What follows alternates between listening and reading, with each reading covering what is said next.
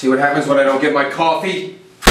Charles and Richard are a bunch of loose cannons, detectives that play by their own rules. Picture last kick, amigo! This summer, they're getting government backing, and it all begins on the count of three. The fuck did you do that for? Yeah. That Fuck you. No, fuck you.